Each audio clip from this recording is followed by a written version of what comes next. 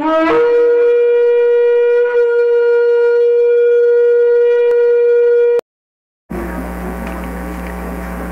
of the things that that uh,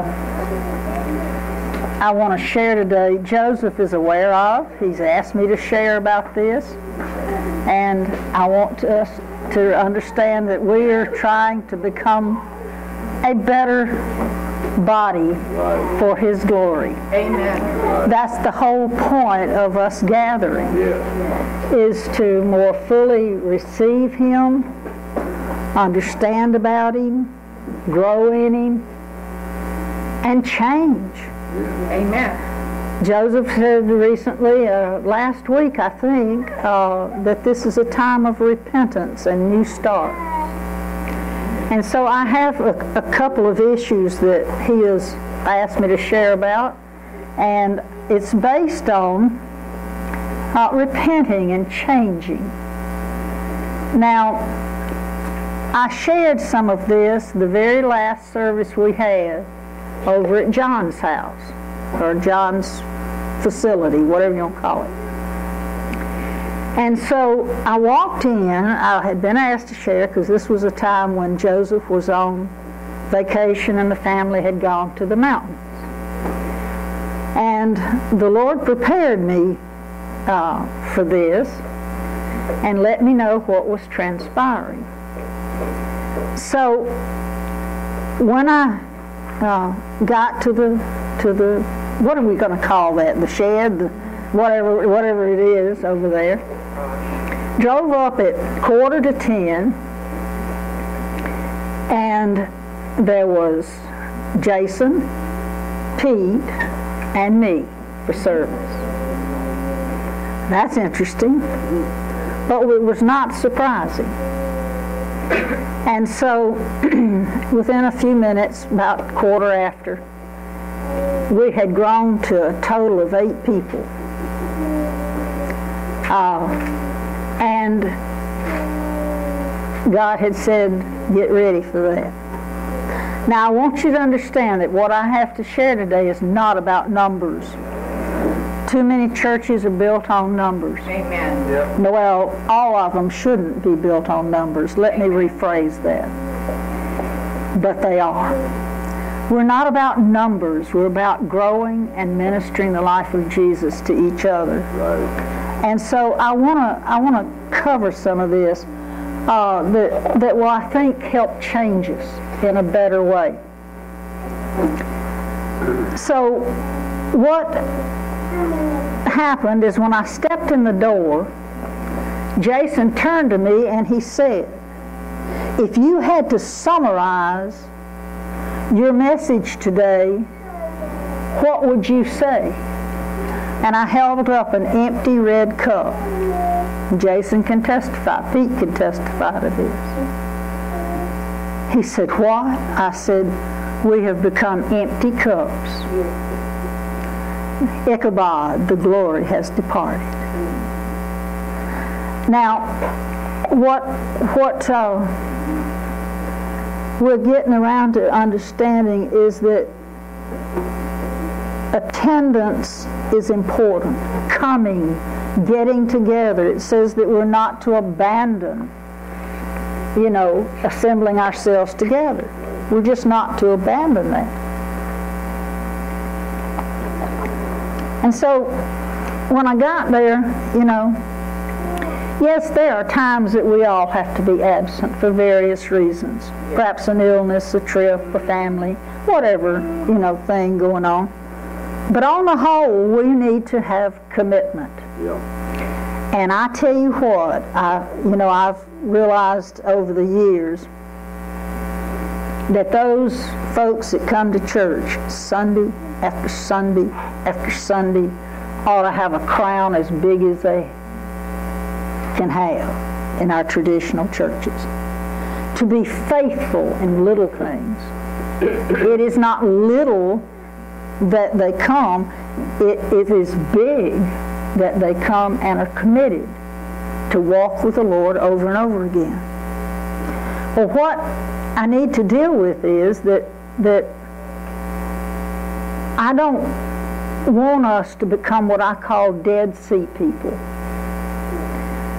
I know, and Promise knows, that if Joseph is not going to be here ministering, people don't show up. Okay, now I'm ministering all this. He, he and I talked about all this. We're, we're all in good shape on this, okay? So it was not surprising on that sat- or Saturday, I keep say, saying Sunday, Saturday, that there was nobody there. Joseph wasn't going to be there. So, eh, I'll catch it on YouTube maybe, whatever. So, what I what I want us to, to get a hold of is that that we do not need to become self-focused consumers, but participants, whether Joseph is here or not. Amen. Y'all with me? Amen. What I mean by Dead Sea people, the Dead Sea is 700 feet below sea level. It has an inlet, it has no outlet. We take in, and we take in, and we take in as the Dead Sea, but we've got to let something out. That is the healthy, normal way. So my cup is simply this. The cup has nothing in it. Most of us come as, as not participants, but as consumers. Yeah. And I found myself saying to the group, here is Joseph. And what we do is, he goes and he spends 10, 20, 30 hours a week listening to God for us, and he should. That's his position and his anointing. But we shove our cups under his noses, nose, you don't have more than one, do you? Nose, week after week saying, Joseph, fill us up. Come on, come on. We're looking for the latest and hottest fresh word off the off God's, you know, newspaper headline. What you got, Joseph? What God give you? And we take it in. He indeed has a word from the Lord. And we put it in our cup and we chug it down. Mmm, so good, Lord. So good, so good. Thank you, Joseph. Now you go back, Joseph, 10, 20, 30 more hours between here and next Saturday, and you get something else from my cup. Y'all with me? Yeah. Yeah. Sound familiar? So we're not to be empty cups. We do need stuff put in our cups. We do need to have weekly input. And as Joseph is pastor, that's part of what he's to do. But we want to be where we have an outlet. We don't just consume this stuff, we let it out. Right. Y'all with me? Yeah. So we need to be not self-focused consum- uh, consumers, rather self-sacrificing servants, attuned to the Holy Spirit. Right. Y'all with me? We must not become a church known for our talents and intellect instead of God's supernatural power. Yeah. Human-sized results is all what is all we'll get if we just do it the human way. Human-sized stuff, human-sized results. So, the world is not moved by human mess and stuff. What is it moved by? Something supernatural from God, right? He has called us to be supernatural beings. We sang a song about He fills my lungs with His breath. Did you know that a mathematician who was a Christian decided to figure out after 33 years of life, Jesus' age, when he died and then was resurrected, that how many times he would have had normal respiration and how many times that he breathed during those 33 years. And then he calculated the amount of oxygen and atmosphere we have, and he found out that the numbers were this. Every time you take a breath, you are literally taking in at least one molecule of oxygen that was actually in Jesus' lungs. So the song is very accurate. So we're to, we're to have his life in us and not depend on natural results. He gave us his spirit for that reason, so that we literally can produce his life out of us. I don't want human results don't want to play church. So we should be known because he's put his spirit in us for our power to glorify him. If you want to write down scripture, Acts 1 8 and 2 Timothy 1 7. We must not come to church as spectators, but as participants. I said that we were an empty cup people come to church to get. It's all right to have some of that, but we get so imbalanced so quickly. We have error by emphasis. Gimme, gimme, gimme, gimme, gimme, Joseph, or whomever. Gimme, gimme, gimme, you do it. Gimme, fill it up, fill it up, fill it up for me. And yes, we need to have things given to us when we get here but not to the point of imbalance. So the empty cup, if, if we announce that we're having a buffet here, guess what everybody does? They get busy and they cook a, a roast or they fix up some sort of super duper kind of, you know, plate of something or fix up cookies or a cake or whatever they're in the mind to do and they bring it to the buffet, and everybody has opportunity to give into the buffet, put something in it, and offer what they brought to everyone. We don't think that's strange. But how many times have you thought, I wonder what I need to take to church spiritually? Yeah, come on. Amen. What do I need to put in a dish, in a cup, from the Holy Spirit to take to church on Saturday? Yeah. If I say Sunday, y'all forgive me, it's habit. On Saturday. Maybe you walk around your house and a scripture just comes to mind and it has absolutely no meaning to you. But you come and you offer it. and You say, I don't know who this is for. Or maybe God does show you who it's for. It can be either way. And you say, uh, I, I feel like God gave me a scripture, and you read it, and tears start pouring down their face. Hey. Y'all ever had that?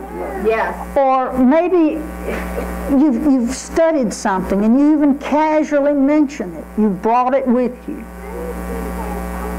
And what does it do? It ministers life. Yes, it does. Y'all with me? Yes. So why should we not spiritually be a buffet every Saturday? Hallelujah. We're to bring something with us. Now that's what's so tough is it requires response on your part. Yeah. It requires you doing 10, 20, 15 hours worth of prayer, worship, work, and reading and Right. studying. You want to grow? You want to have a godly church? A Amen. church filled with the Spirit uh, and the life of the Spirit? Hallelujah. Yes. Then you're going to have to put something in it. Amen. Spectator sport does not work. No. Okay? And most of the American church works off of spectator sport. You know? Amen. Good. So the, the scripture, a song, a hug, a concern, may I pray with you? How you doing? Do you know some people, it's just wonderful to even have someone inquire, how are you doing? to care. That's right. Y'all with me? Yes. So we need to bring something. I want y'all to go to 1 Corinthians 1, 10 through 12. 1 Corinthians 1, 10 through 12. And this is what I want to talk to us about to begin with. Not my main focus, but here.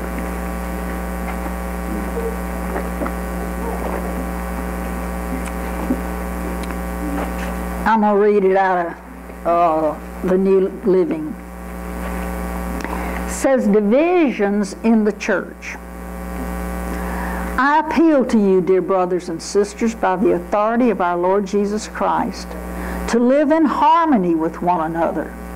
I've often thought, you know, it says, when two or three gathered, I'll come in your midst. I've often wanted to read it this way. If I can get two or three of you together, I'll be so shocked I'll come myself. y'all ever, do y'all ever read stuff like that? Yeah. But we're asked here now, Lord Jesus Christ. Remember when you read in the scripture, if it says Christ Jesus or Lord Jesus Christ, it's talking about his godliness. Okay? So it says, by the authority of our Lord Jesus Christ to live in harmony with each other. Let there be no divisions in the church. Rather, be of one mind, united in thought and purpose. Does that mean we agree on every issue? No. No, but the major ones we do. Um, for some members of Chloe's household have told me about your quarrels. My dear brothers and sisters, some of you are saying, I am a follower of Paul. Others are saying, I'm a follower of Apollos. Or I follow Peter. Some of your Bibles would read Cephas. Or I follow only Christ. Well, guess what? Some of us only follow Joseph. Amen. Yeah. Wow. You with me? Wow. Amen. This is not putting him down. I want y'all to understand that. But we need to be able to receive from whomever God is dishing it up. Yeah. After all, you know, only drink from a red cup. Hey, red cup. How many of you know he has the word of the Lord? He has something in his cup, and he offers it to us. But what if God wants to use somebody else to speak to you? Yeah.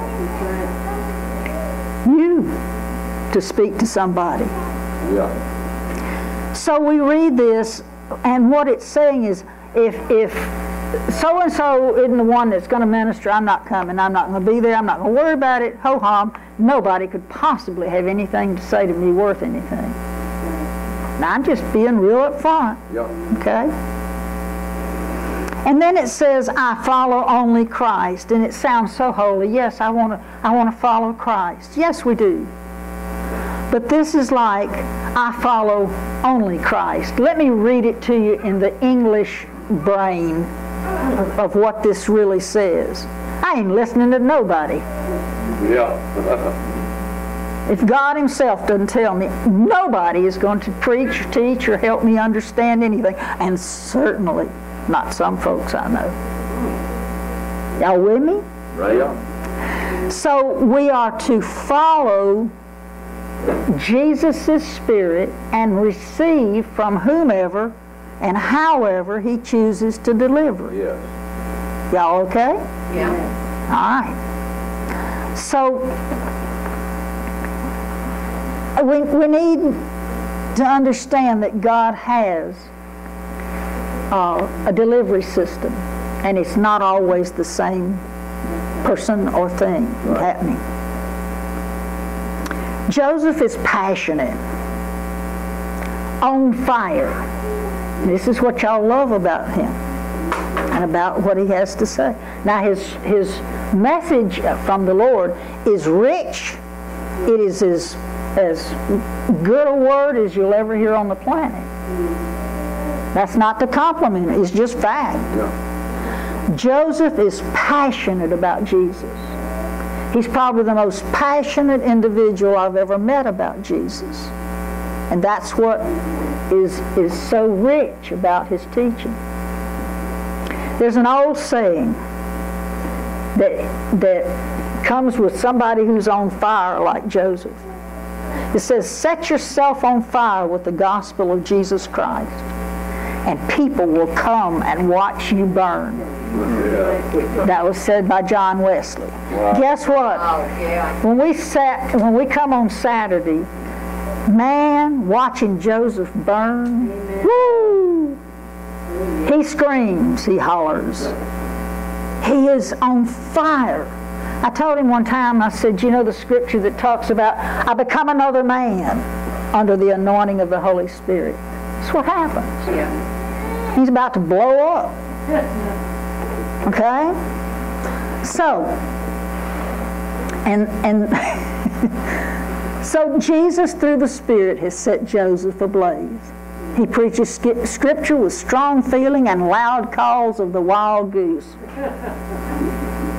Now, for those of you who've not heard the teaching on the wild goose, you'll go, what on earth is she talking about?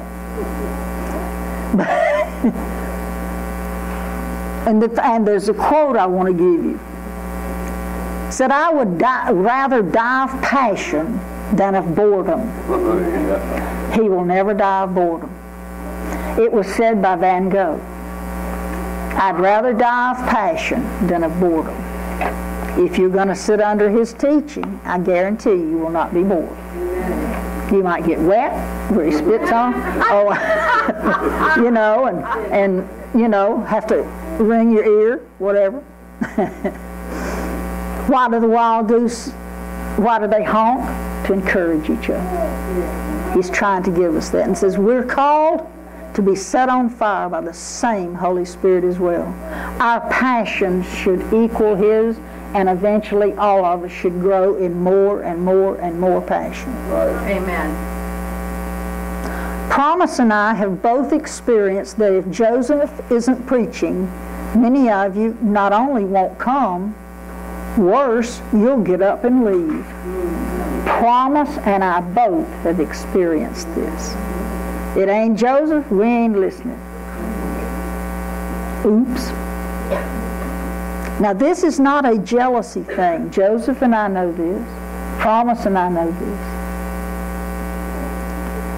What I'm saying is we need unity. Amen. We need to receive whatever word God has for us from whatever sources He puts it in uh, puts in front of us. Amen. Okay? Amen. Y'all, y'all all right about that? Yeah. Why is it that? Why is that so important? Because unity is a prerequisite to the moving of the Holy Spirit. He will not settle on us unless we're in unity. That's true. That means same heart, same purpose, same mind. That we're to come together in Christ as a family. I've listened to Promise apologize before teaching that her style of sharing God's Word isn't like Joseph. Then she offers this church God's rich, anointed Word. Her passion is no less, and she should not have to apologize for her style of God's delivery Amen. to us. Y'all with me? Amen. Proverbs 15, 22 speaks of many counselors. We must receive from each other. It takes the whole body of Christ to see the entirety of Jesus. Not everybody is going to have it all. We're going to have one that understands one thing about Jesus and another about another, or emphasizes, or God has put an anointing in their life in that area. Y'all with me? Yeah. So to be healthy and rounded and full and balanced, we have to receive from different sources. Okay? How many of you know uh, if you need counseling on, let's say, finances, you're not going to head for somebody that's, that's got real understanding about relationships. What do you need? You need financial understanding. Right. If you got a relationship problem, guess what? You don't go to the person about finances, do you? So the point is that it takes all of us to see all of Jesus. Right. Okay?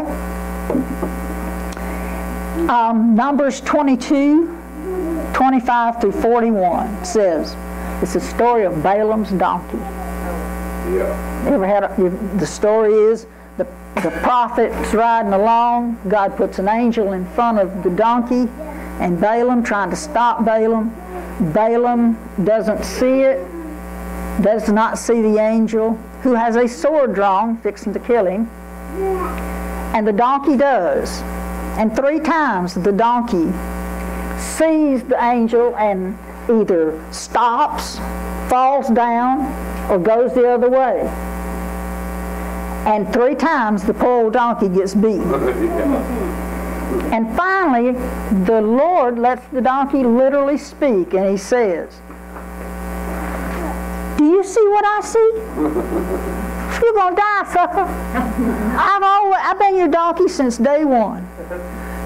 Right? Right. I've always, I've never acted like this before, have I? No. So, check this out. You fixing to die if I don't change my course of action here. So, what happens with Balaam's donkey? God lets him speak. You think God might let Promise speak, and me speak, and, and everybody else speak? We at least is, is available, we should be at least as available as the donkey. Right? Amen. I had my parrot speak to me a word from the Lord one day. I had a beautiful old parrot. I.R. Rotten was his name. A big green-winged macaw. Loved that bird. He finally died of old age. But I had him from the time he was about the size of a football. Sweet old bird. Character. I taught him to say when he was hungry, Charleen, Charleen, feed the bird and he would I'd hear this, you know, and other things. He loved Kentucky Fried Chicken. There, most birds are left-footed. He'd hold that chicken leg, and he'd eat that, bones and all. And I, ha- I taught him to say, "I'm a cannibal." you with me? Yeah. Hurricane Katrina comes along. I'm climbing over, when I was more agile, I'm climbing over trees. I'm trying to get back to my property to see if I have anything left.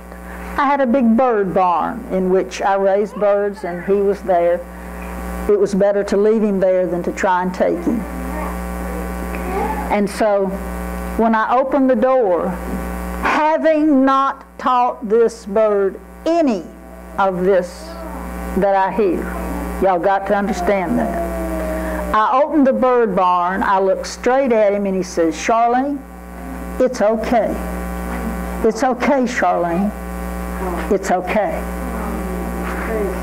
Tears pouring down my face. So he can use the animals, I know he can use the rest of them. Absolutely. Y'all with me? Absolutely. Y'all understand my story. Absolutely. So if you, you know, surely we can share with each other. Amen. God can speak to whomever He chooses. We must be teachable. Just because they speak it does not mean that you receive it. Right. You could speak pure gold, and some people, nah, they're not going to receive it. So what does it need from, what do we need to do? Be teachable. That's right. I, I teach all the time. I can tell you those, you couldn't put it in their head if you crammed it in with a sledgehammer. They will not listen. They will not receive. They are not teachable. We've met this in ministry. Nobody can tell me anything. I already know it all. Isn't that right? There are two Greek words, parakeo and parakono. It says unwillingness to hear, refuse to listen, or choose to ignore. I do not want to fulfill those Greek words. I want to be teachable. I want to be pliable. Yeah. I want to be in God's hands, uh, somebody that He can change. In fact, we've talked about the thing that we should come to, to, to church and be ready for God's word to change our mind Yeah. or change our heart or change our ways or whatever's appropriate. Go to 2 Corinthians 4 7. 2 Corinthians 4 7.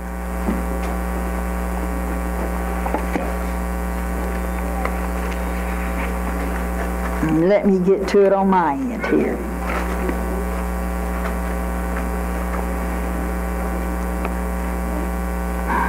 I'm in the wrong spot. Hang on. One page too soon. There we go. All right. Um, it says, Now we have this treasure in clay jars, so that this extraordinary power, of course from the Holy Spirit, maybe from God and not from us. He has deposited in us His Spirit. It is for a purpose. It is not for our entertainment. It is for His purposes to be accomplished. Y'all with me? Right. Okay.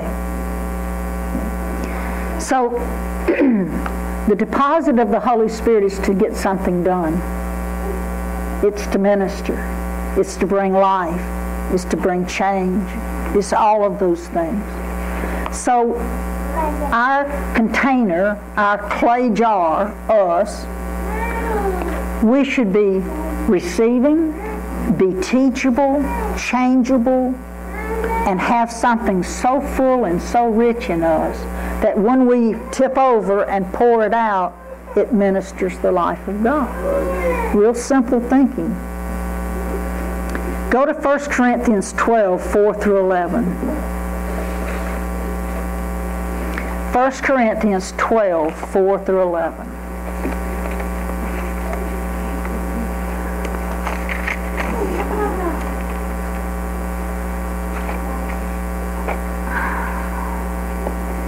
Now, let me get this read. There are different kinds of gifts, but the same Spirit.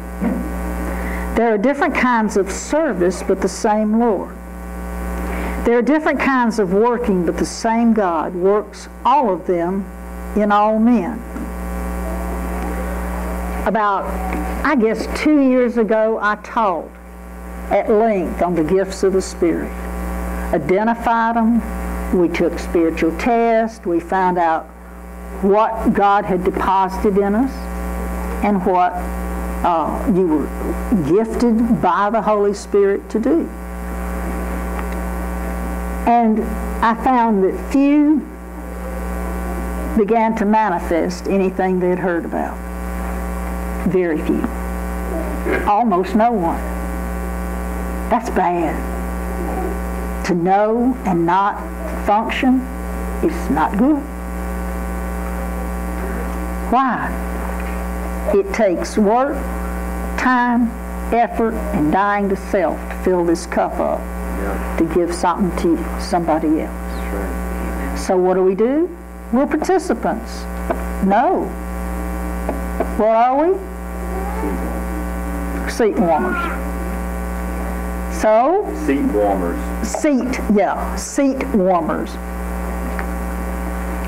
So what do we have to do? Not only find out what God's put in us, but be willing to participate in its performance. Right? Right. It's going to cost you some.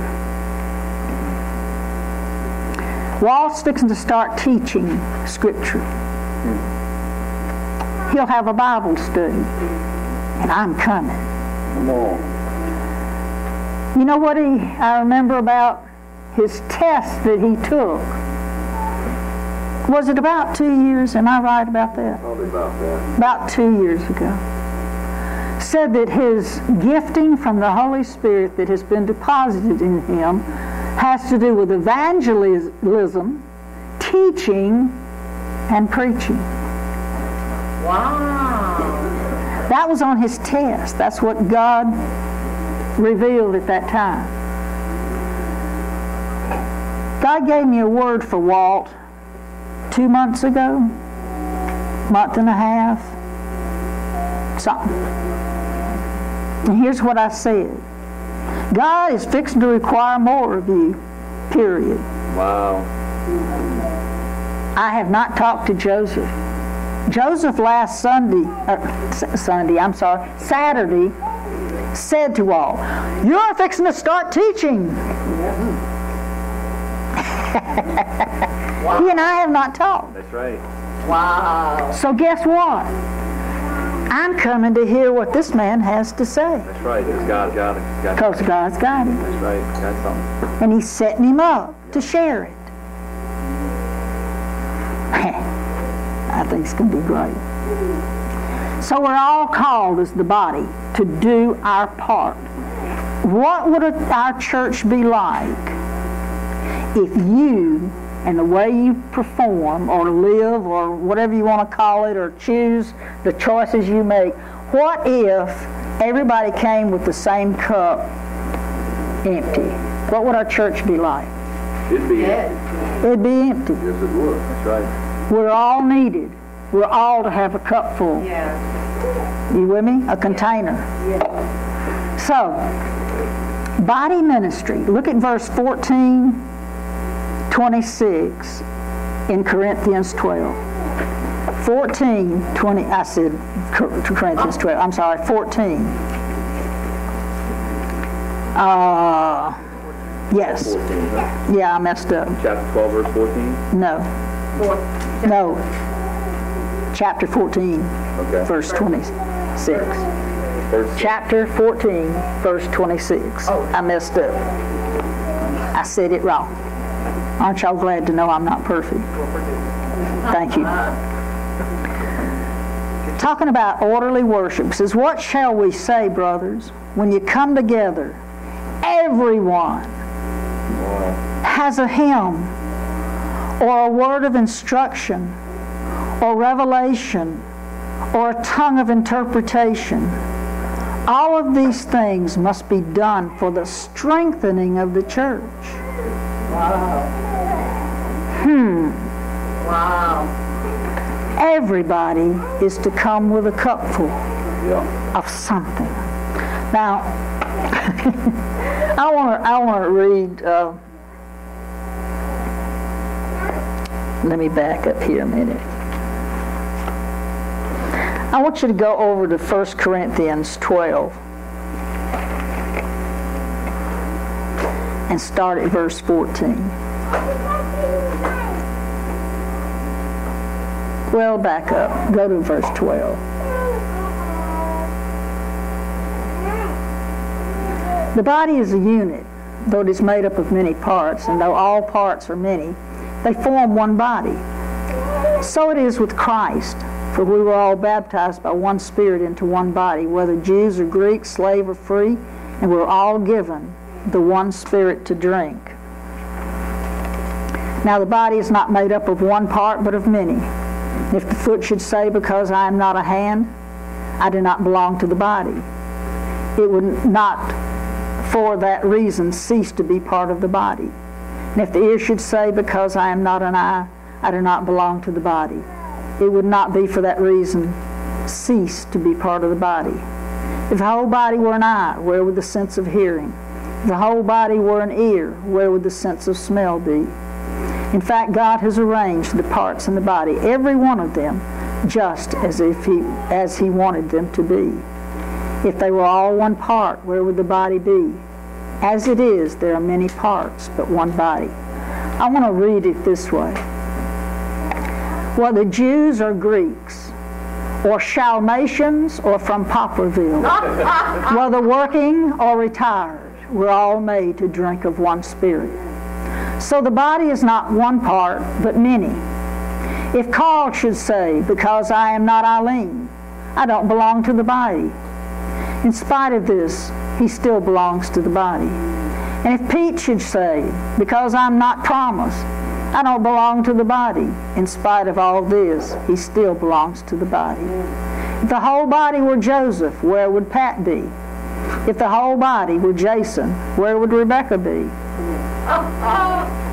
Gets kind of personal that way, doesn't it? Yes, it does. You with me? Yeah. All righty. So, we know that we're to come together. And here's the deal. It says we're in the in the King James it says we're to profit with all. Y'all with me? Yeah. The word profit with all in the Greek is called symphero. To bring together, to be helpful, so all gain for the common good, to better one another and to be of benefit. Symphero is the same Greek word that we get the English word symphony from. Fitted together to praise and worship God. We're to be like a symphony where we all sit in our spot, so to speak, and play the instrument God has given us. And what does it do? It brings praise and worship, music to God. So we're to be like a symphony. We're to be that closely related and that fitted together.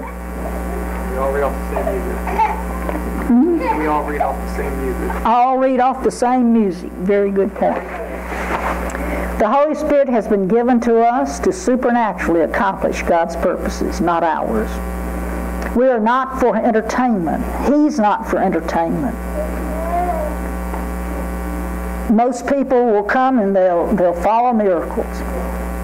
I want to see a miracle. And it's okay to see a miracle. I could sit here probably for an hour and a half, two hours, and rattle off one after the other. I've seen God show up as light. I've seen Him fill my gas tank. I was in a meeting where a sweet fragrance, the sweetest smell I've ever smelled in my life, entered the room, and the fellow leading the, the meeting says, Does anyone smell the fragrance of the Lord? He said, If you smell it, I want you to stand up. Every other row stood up. It was supernatural. Been there, was part of that. Okay? So we knew something supernatural was happening because it was every other row. And it was an instant when everybody stood up, we looked around, we were like, whoa. Fragrance. Been in a meeting where we were singing and uh, the song, uh, It's Beginning to Rain. Cloud forms in the ceiling. A mist comes down on us, it's beginning to wet us. Okay? I could go on and on and on. I got 46 years of walking with the Lord of stories like this. We all are just freaked out as humans when God does this sort of thing. But it is not an end into itself. It is only done by Him when He wants to, by the Spirit of God, and it's done to do what? To point us toward His holiness, His glory, and us to see Him with an even greater understanding that He is there. Okay? Yeah. So we're not here for entertainment or to see miracles and, and rainfall and all that.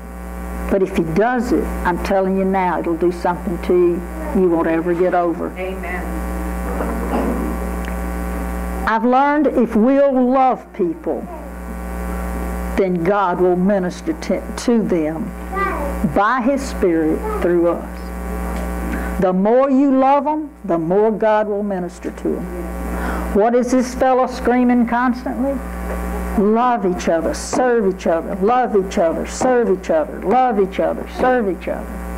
What's he trying to do? Get us ministered to and get us to minister. Okay? That's why the love chapter, chapter 13 of Corinthians, is stuck right in the middle of the gifts. People get so enamored with the gifts and the, and the workings, we forget to love them. That all this is for a point. It's to love them and meet their needs and minister to them. Right. If you're not loving them and all, I guarantee you, the gifts do not function right. Okay, it becomes a show. So, go to 14.3. 1 Corinthians 14.3. Somebody read it. But he that prophesieth speaketh unto men to edification, to edify them, and exhortation, and for comfort. So when we come together, our cup should contain something from the Spirit. and We're to prophesy. It means preach. It's literally what it means. To speak of Him, to edify, exhort, and comfort one another. Now, I'm not going to go through and, and take a long time with this, but I looked up edify and exhort. I want to read you what I found out. It means to ask God for help for someone. Hallelujah. How many of you know it's okay for us to ask for help from each other? Right. We're to be like Him.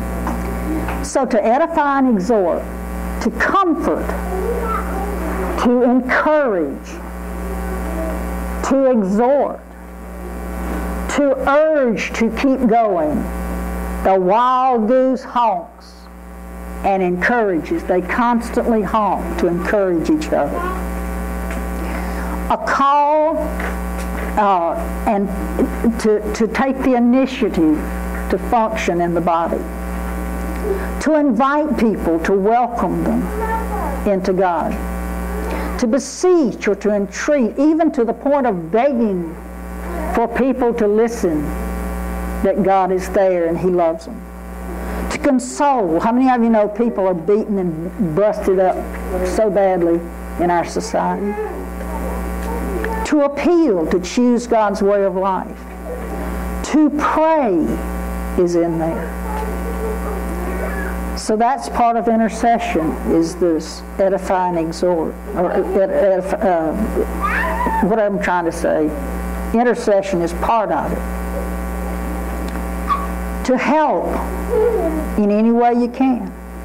To strengthen the mind, to build up morals, to build up faith, to instruct, to improve someone's life and make it better.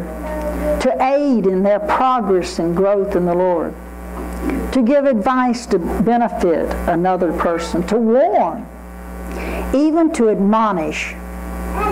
Now, no one likes to be admonished, or another word would be chastised. But guess what? It says it is by an authorized relationship. That can be by birth, like a parent admonishes a child. It can be by office, like a pastor. It could even be by profession, where your boss tells you to do something. And it always concerns advice concerning future conduct or course of action. Now, did you know that you can receive admonishment from someone that you know loves you? That's the relationship part. When you know that somebody loves you and they're speaking a word of admonishment, they care about you. Amen. Okay? All right. So, over here under comfort, that's the three things. To relieve from pain, to help, to invigorate. I need some of that every now and then. I call it new batteries. I need new batteries every now and then. To cheer us on, to enliven us, to strengthen the, the depressed, to console, to release from trouble, relieve distress, to ease, provide, rest to supply new strength, to relieve affliction. Support. How many of you know sometimes it's just good, like he's talking about on the phone. Just wanted to check on you and see how you're doing. You all right? How's life going? Just to be there, to prop them up. Okay? To warn of danger. And here's a biggie, to provide hope. These are the things that can fill our cup to edify, to exhort, and to comfort. If we want to see God move among us in this church, we must submit ourselves to Him so that His abilities and powers manifest through us to glorify Jesus. We must give the Holy Spirit freedom to have his way in us. We must let the Spirit fill our cup. I love quotes, and I always find a bunch of them. This one I thought fit. I have been impressed with the urgency of doing. Knowing is not enough. We must apply. Being willing is not enough. We must do. Leonardo da Vinci. Whew. Wow.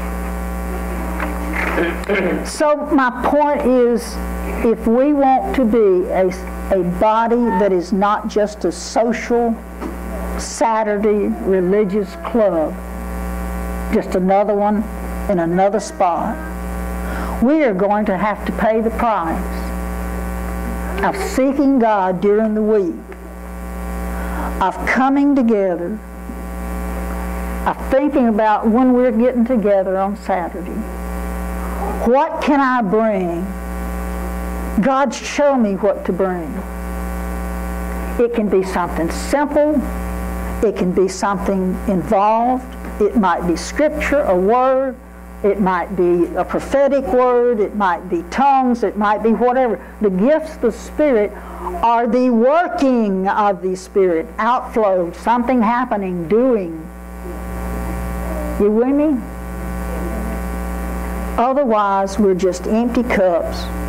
We're just absolutely just getting together as another social group. If our results are not supernatural, they're not worth anything. Does that make sense to y'all? Yes, it does. And I want to receive from wherever He's sending it from. Amen. You, that I'm fixing to hand it to you.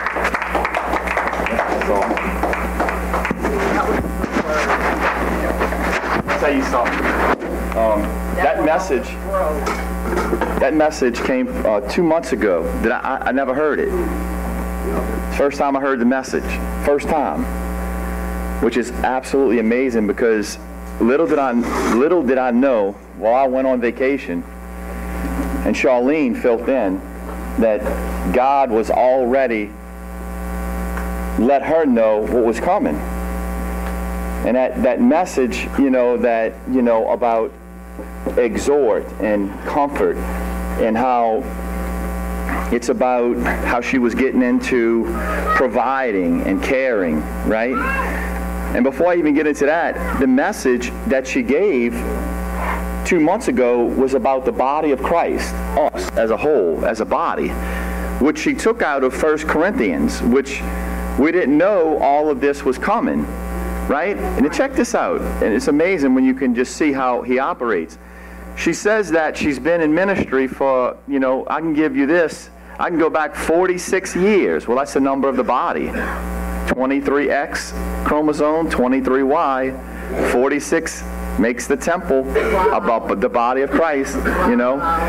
She's this is the spirit speaking through the message in how about how the body supplies, right? right?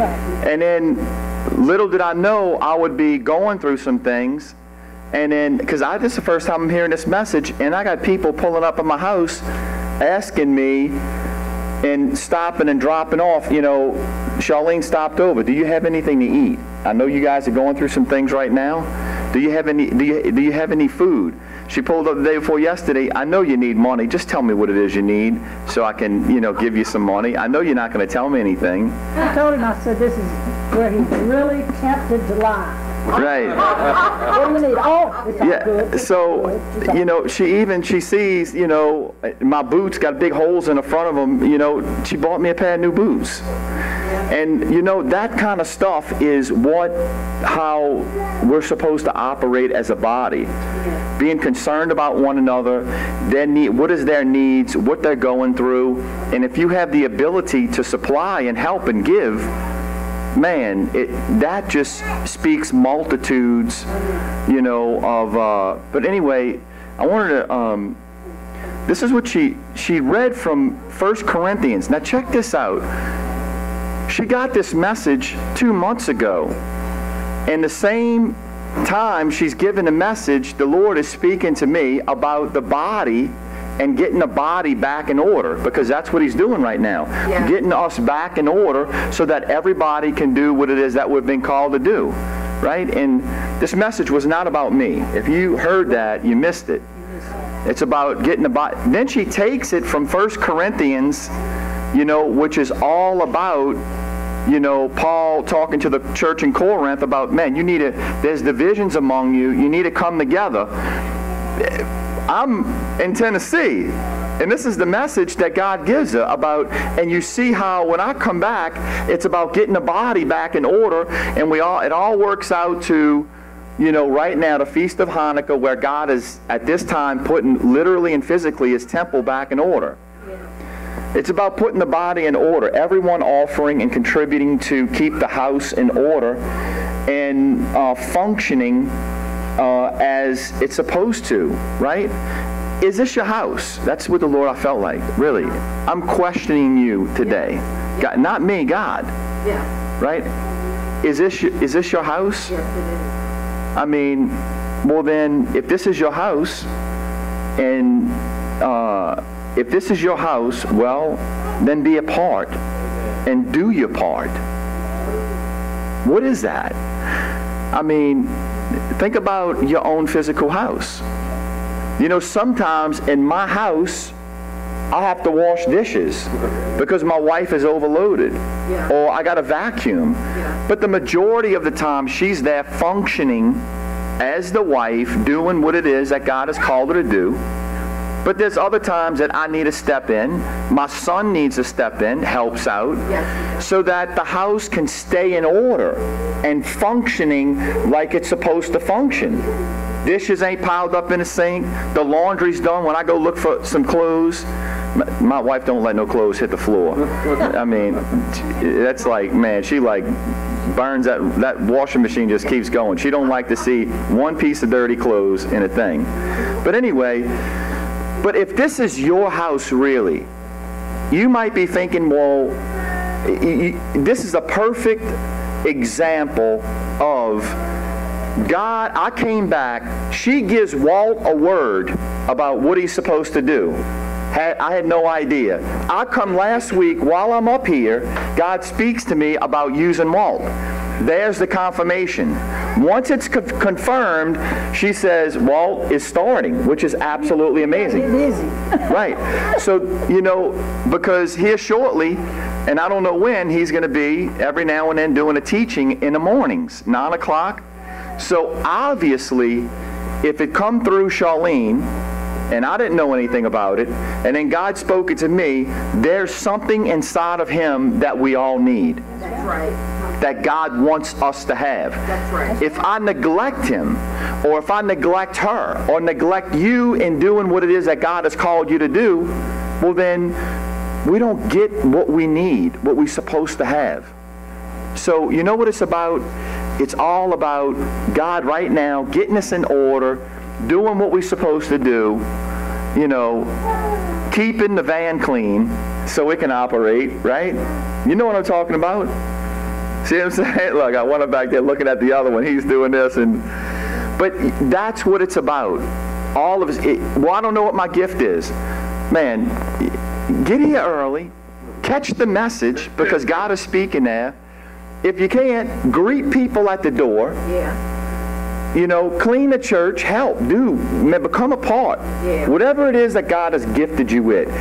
And if you're really concerned about this house, you know, and this house is is not this building. Right. It's just is just a gathering place. Right. You're going to be concerned about, you know, whether this guy has shoes to put on his feet, or Joe is in a hospital sick, or what's his name is not feeling good, and have you called him to check on him to see, hey man, Right. I mean, it was a perfect example. I asked John point blank this morning, walked up to him, standing by the thing, said, hey man, how you doing? he said, well, if you, you're talking about one thing, I said, no, you. I called Nick. I said, Nick, how you doing? You know, I asked John, how you doing? You know, what, are you good? Is everything, are you in line? You know, don't miss it right now. Yeah. You know, because it- this is tomorrow's, that uh, tonight ends the Feast of Dedication, and it begins the ministry. Tonight at 6 o'clock begins your ministry. Your ministry for this new year. That's pretty crazy how I fell out this year, right? Don't miss the opportunity. You know, there's a lot that's going to come from Denise and others. You know, so everybody, let me, t- you know what? Uh, Big Fish back there asked about, how y'all doing? My wife came home. Look what Big Fish gave us. You know, just for support and help, you know, and stuff like that. It's about caring about one another, really caring. And if you know that I care for you, well then you'll respect what it is that God has to say. And check this out, the other thing about the message. Admonishing. I admonished, you know, I admonished a lot of people in here already. And let me tell you on the reverse, I've been admonished. Oh, yes. Mama done come to me a few times and said, hey, you know, I don't agree. Let me give you the perfect example to let you know that I'm under subjection as well. Yes. Here's a, listen, listen to this. We just set the church up. And I'm, uh, we just set the church up, the church, this building, and all the stuff. You guys know this is how everything was set up before. So while we was working, it was Holly, it was either Emma or one of them had walked up to me, I don't remember who it was, while we was working here and gave me a crown, gave me the crown of thorns right here. She said, you know, uh, Pastor, what do you want to do with the crown of thorns? And I said, you know what? I just, I took the crown of thorns and I put them on top of the Ark of the Covenant right there. The, the, the cross wasn't there. And I I just thought it looked like a good place for it. I just set it up there, you know. And so anyway, Mama comes in for the first time we had the church set up. She sees everything set up like this. And she's concerned about something, right? Because my mom is, you know, I don't like to give titles anymore, but she's an elder. She's been serving the Lord 40, hey, my mom is serving the Lord 46 years. 46 years. I'm 46 years old. That's how long she's been. When I was born as a baby, there's 40. Watch this. So my mom is sitting in the back with Charleen, and my mom has a concern in her spirit, and she says she felt like the ark was being lifted up, you know. And she talked to Charleen. Charleen don't even know about this. I didn't tell her. But Charleen agreed. My mom called me up, so now we have one, God put something in her heart, talks to another one to see if she's got some kind of confirmation about it. Charleen says, yes. My mom calls me up. And she says, you know, son, you know, I just want to tell you a concern I have. And you, the pastor, and you just take it for what it is. She said, I feel like you're offering that, that the ark is being lifted up, you know, in church. Now, I know it's not you, but just seeing that ark back there, I feel like the ark is being lifted up. I said, Mama, you know, Mama, everything in this building is about Jesus. She said, I feel like Jesus needs to be lifted up. And really, you know, the cross should be there. So I said, Mama, the cross is over there by Noah's Ark. No, the ark is about Jesus. The cross is on the wall. She said, but I know, I know, but I, I look at the, you know, the altar up there, and it just looks, appears to me that the ark is being lifted up. Now, I get this phone call. This was um, Friday, Friday evening, before we had our last, the first service last week. So I'm like, okay, Mama, you know, all of it's set up. Everything is about Jesus here. It's all, you know. But you know what? Then I said, all right, I know my mom hears from the Lord. Right? So let me just show you how awesome he is. Where's that white thing with the, oh, here it is. Now, I want to show you this thing.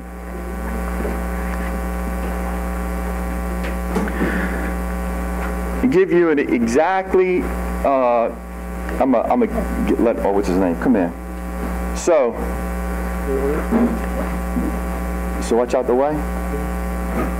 Um, just for a minute. I'm sorry, son. So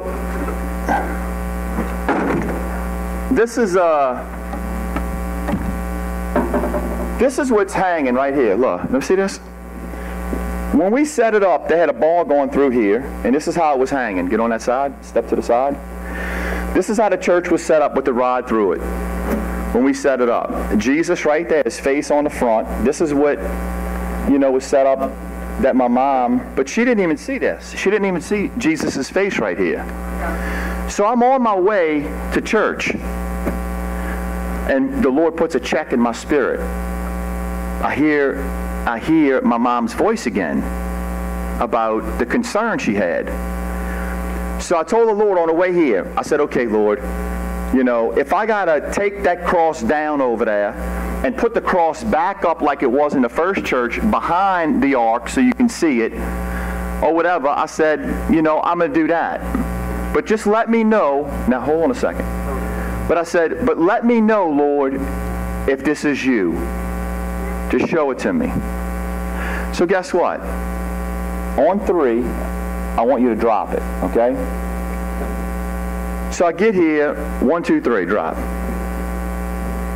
I walk in church Saturday morning for service. I walk in, it's on the ground. It's on the ground. Who took it down? Promise took that down? God took your rod. What? I had no idea. So watch this. I walked in the door and I looked to the side. I looked to the side and it's on the ground. In service, we're done, right? And I'm like, you know, I was like instant confirmation that that is not what was supposed to be there. And I said, you know, Lord, I had that cross right there. That cross was over there in Charleen's corner, over there, and somebody said, man, you gotta watch that, and you know, it might fall on somebody, and or hang it up there. I said, no, nah, I'm gonna put it in the back, and I put it in the back back here. And when I walked in, you know, Mama said the cross needs to be lifted up, right? So I remember the cross in the back. So now I go get the cross out the back. And now, watch how it works. It's God is absolutely amazing. So during the time of working, somebody hands me the crown. They hand me the crown. I set it up here on top. I have, I just felt like that's where it needed to be. So that morning, when I come in here and see it, I'm like, oh, the cross. The cross. I'll just put the cross in front of the ark and tie wire it to the ark. So I go back there and I grab the cross. Just like God wanted, where he put the crown of thorns. And the crown actually became the support for the cross so it can't fall. The curse held him on the cross. Look where the thorns even Yeah. fell out, right on the blood Yeah. of the cross. So you see, the importance of being, the importance of being, of listening to others that hear from God as well, because it's not about what I want this place to be set up. It's about also listening to others that hear from God as well. That means God, before I even knew it, set the crown up there because that's what's got to be, you know, exalted. Christ. Even though that ark represents Christ, whoever walks in here ain't going to know what that is, who hasn't have any idea. But they know what the cross is and they know what the crown is, and they're going to be like, man, what's going on? But the ability, number one, to be submitted and believe. I could have said, no, all of this represents Christ, Mama. I'm not even. But you have to be submitted. And you know when the Lord speaks, He's going to confirm it to you. And guess what? My, my, the Lord spoke to my mom, confirmed through Charleen. I walked in a door. It's confirmed to me. It's on the ground. The, crown, the thorns go up there. God says, God said, that's where I want the cross right there. This is how I want things set up. In order, listening to people, letting others have input, whatever it might be, because you know, this message is this message is about people and and being able to have the ability to help others.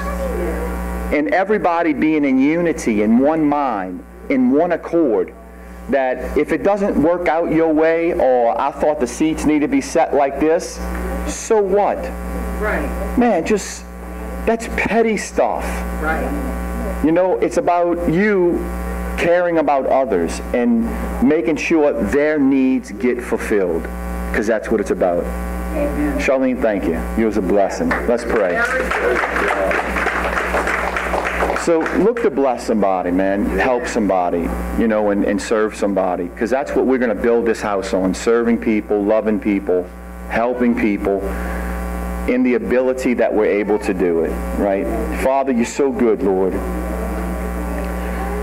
Father, thank you, Lord, for getting your house in order, Lord, us, and, and forgiving us and loving us and, um, Lord, just moving us forward. Father, Lord, I ask that today as this bad weather comes in, Lord, protect us, Father. Not only us, Lord, just uh, just let this blow over and, and nobody be affected by it, Father. Lord, bless those that were not able to be here, Father. Lord, you know the needs that we have. Lord, I ask that you would uh, just help us to lead us and guide us. Lord, bless those that uh, that need work, Father, and whatever it might be. And Lord, we just ask that you continue, Lord, to give us direction and, in what we're supposed to do and to be a part in your house, Father. In Jesus' name, you guys be blessed. Amen. Amen.